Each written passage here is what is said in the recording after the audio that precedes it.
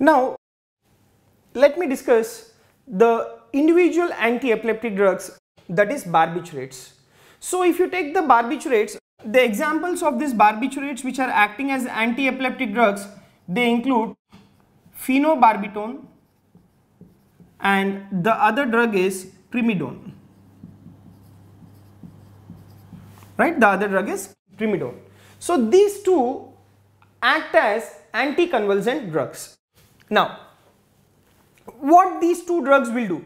Remember, these two drugs they act as anticonvulsant drugs due to GABA mimetic property.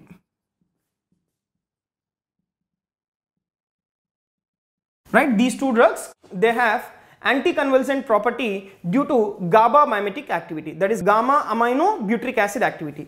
Now what is your GABA? GABA is an inhibitory neurotransmitter. So what these two drugs will do? They will behave as GABA and thereby they will increase the inhibitory neurotransmission within the cerebral neurons and thereby the epilepsy will be reduced alright. So these two drugs they have GABA mimetic activity as well as the GABA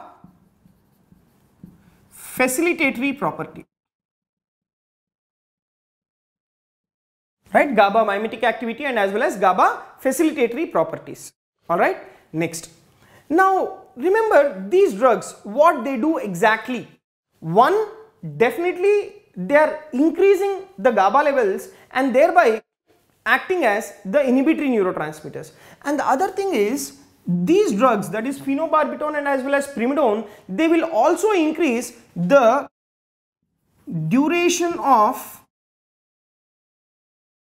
opening of chloride channels. All right?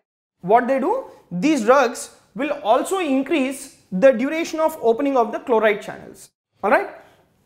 So remember, once they increase the duration of the opening of the chloride channels, more and more chloride will enter into the cell. Once the more and more chloride enters into the cell, remember the chloride is a negative ion. So it will reduce the neuronal activity and thereby the epilepsy can be reduced. And remember, where do we use these particular drugs? That means in which type of epilepsies we use these drugs. These phenobarbitones or barbiturates, they can be used in generalized tonic-clonic seizures that is in case of generalized epilepsies we can use and these can also be used in case of partial seizures. So these drugs that is phenobarbital and as well as primidone they can be used in the following types of epilepsies. They are useful in case of generalized tonic-clonic seizures and they are also useful in case of the partial seizures. And the important adverse effects with these particular drugs are these barbiturates, the adverse effects is they are highly sedative drugs.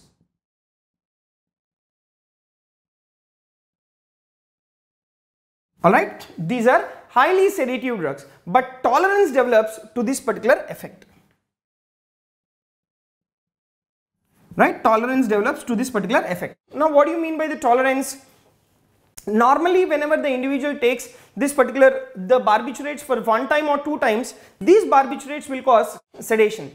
But the individual keeps on taking these barbiturates repeatedly, then the individual will develop tolerance to this particular sedative effect. That means after a period of time, there will be no sedation with these barbiturates when the individual starts taking these barbiturates repeatedly. So these drugs are highly sedating but tolerance develop to this particular effect.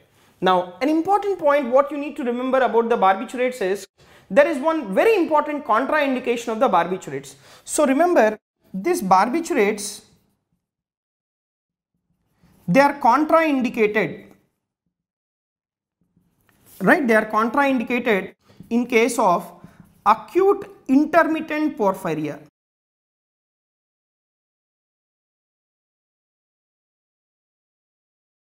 Alright they are contraindicated in case of acute intermittent porphyria. And these drugs normally they will suppress the abnormal neuronal activity and they are useful for treatment of epilepsy. But these drugs can cause paradoxical excitation in some patients. Right? These drugs can cause paradoxical excitation in some patients. Alright, next. Now there is one very important multiple choice question about the phenobarbital. Phenobarbital, this is considered as drug of choice in GTCS for infants. Remember this point? Phenobarbital, this is considered as drug of choice in generalized tonic-clonic epilepsy for infants. But the same phenobarbital, it will cause hyperkinesia in older children. Right? This phenobarbital, it will cause hyperkinesia in older children. Right? It will cause hyperkinesia in older children. So, these are some of the very important points about your barbiturates. So remember barbiturates what we have is phenobarbital and as well as primidone. This phenobarbital and primidone they have GABA mimetic and as well as GABA facilitatory property and they will also increase the duration of the opening of the chloride channels. This phenobarbital and as well as primidone they are used in generalized tonic-clonic seizures and as well as the partial seizures. The adverse effects of these barbiturates is they are highly sedative property, right? They cause very high sedation once the individual is taking this phenobarbital and as well as primidone. But the point is they develop the tolerance to this particular drugs once the individual takes these drugs repeatedly.